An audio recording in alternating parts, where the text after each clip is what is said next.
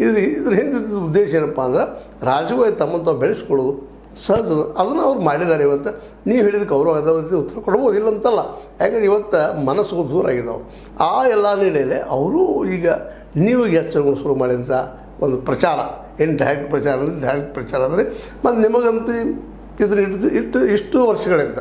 ದಿನ ಅಷ್ಟಲ್ಲ ಇಷ್ಟು ವರ್ಷಗಳಿಂದ ಬಿಡಿ ಸಿಯನ್ನು ನಮ್ಮದಪ್ಪ ಅನ್ನುವಷ್ಟು ಮಟ್ಟಿಗೆ ಬೆಳೆಸ್ಕೊಂಡು ಬಂದಿದ್ದೀರಿ.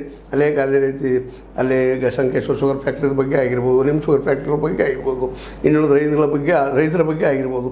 ನೀವು ಅನೇಕ ಒಳ್ಳೆಯ ಕೆಲಸಗಳನ್ನು ಮಾಡಿದಿರಿ ಮತ್ತು ಅಲ್ಲಿ ಮೇಲೆ ಸಹಜವಾಗಿ ನಿಮ್ಮ ವಿರೋಧಗಳಂತೆ ಆರೋಪ ಮಾಡ್ತಾ ಮಾಡ್ತಾ ಇದ್ದೇ ಇರ್ತಾರೆ. ಅದೆಲ್ಲ ನಡೆಯುವಂಥ ವಿಷಯನ ಅದೇನೋ ಆಗಲಿ, ಈಗ ಮಾತ್ರ ಈಗ ನಮಗೆ ಬಂದಂಥ ಒಂದು ಪ್ರಥಮ ಹಂತದ ವಿವರ ಬಂದಂಗೆ ಇವತ್ತು ಕತ್ತಿಯವರು ನಿಧಾನಕ್ಕೆ ಮತ್ತು ಅಷ್ಟು ಸ್ಪಷ್ಟವಾಗಿ ನಾವು ಈ ಬಿ ಡಿ ಸಿ ಸಿಯನ್ನು ಅಷ್ಟು ಸುಲಭ ಬಿಟ್ಟು ಈ ಒಂದು ವರ್ಷದಲ್ಲಿ ಅಂತೇಳಿ. ಯಾಕಂದ್ರೆ ಬಿ ಜೆ ಪಿಗೆ ಹದಿಮೂರು ಜನ ಇದ್ದಾರೆ. ಬಿ ಜೆ ಪಿ ಕ್ಯಾಗ ಅದ? ಇವತ್ತು ಅವ್ರು ಡಿಫ್ರೆನ್ಸ್ ಆಫ್ ಒಪಿನಿಯನ್ ಬಂದಿರ್ಬೋದು. ಮತ್ತು ಈ ಒಂದು ವರ್ಷ ಅವ್ರು ಹೊಂದಾಣಿಕೆಗಳು ಆಗ್ಬೋದು. ಅದು ಹೇಳಿಕ್ಕೆ ಸಾಧ್ಯ ಇಲ್ಲ. ಏನು ಆಗ್ಬೋದು ಅಂತೇಳಿ ಯಾಕಂದ್ರೆ ಇವತ್ತಿನ ಮಿತ್ರ, ನಾಳೆ ಶತ್ರು ನಾಳೆ ಶತ್ರು, ನಾಳೆ ಮಿತ್ರ. ಈ ದೃಷ್ಟಿ ಇಟ್ಕೊಂಡು ಇರ್ಬೋದು ಒಟ್ಟಿನಲ್ಲೇ ರಮೇಶ್ ಕತ್ತಿಯವರು ತಮ್ಮ ಕೈಯಿಂದ ಅಧ್ಯಕ್ಷಗಿರಿ ಹೋಗಿ ಒಬ್ಬ ಸಾಮಾನ್ಯ ಅಪ್ಪ ಸಾಹೇಬ್ ಕುರುಗುಡೆ ಅನ್ನುವಂಥವ್ರಿಗೆ ಪಿ ಡಿ ಸಿ ಸಿ ಅಧ್ಯಕ್ಷ ಸ್ಥಾನ ಹೋಗಿದ್ದು. ಒಂದು ಅಸಮಾಧಾನ ನಿಶ್ಚಿತವಾಗಿಯೂ ಅದ.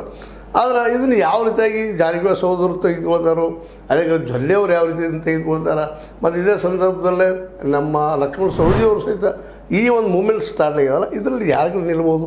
ಹೆಂಗೆ ಒಂದು ಕಾಲಕ್ಕೆ ಇವರು ಈ ಉಮೇಶ್ ಕತ್ತಿ ಅವರಿಂದಾಗಿ ಅಲ್ಲಿ ಏನಪ್ಪ ಅಂದ್ರೆ ಮುಂದೆ ಹೋಗುವಂಥ ಸಾಧ್ಯತೆಗಳು ಆಗಿರಲಿಲ್ಲ. ಹೀಗಾಗಿ ಒಂದು ರೀತಿ ಬೆಳಗಾವಿ ಜಿಲ್ಲೆಯಲ್ಲಿ ಒಂದು ಹೊಸ ರಾಜಕಾರಣಕ್ಕೆ ಈ ಒಂದು ಹಾದಿ ಆದರೂ ಆಗ್ಬೋದು. ಈ ಒಂದು ಬಿ ಡಿ ಸಿ ಸಿ ಬ್ಯಾಂಕಿನ ಈ ಅಧ್ಯಕ್ಷ ಸ್ಥಾನಕ್ಕೆ ಮಾಡಿದಂಥ ಚುನಾವಣೆಯಿಂದಾಗಿ ಇದು ಎಲ್ಲರೂ ಒಮ್ಮತ ಅದ ಅಂತ ಹೇಳ್ಕೊಂಡಿರುವ ಒಳಗೆ ಒಮ್ಮತ ಇಲ್ಲ, ಅಲ್ಲಿ ಅಸಮಾಧಾನ ಇದೆ ಅನ್ನೋದನ್ನು ಸ್ವತಃ ರಮೇಶ್ ಕತ್ತಿಯವರ ಒಂದು ಸಿಂಪಲ್ ಏನಪ್ಪ ಅಂದ್ರೆ ಇಲ್ಲಿಯೂ ರಾಜಕಾರಣ ಇಟ್ಕೊಳ್ಳಿಕ್ಕತ್ತದ ಅನ್ನೋದು ತೋರಿಸ್ಕೊಡ್ತದೆ.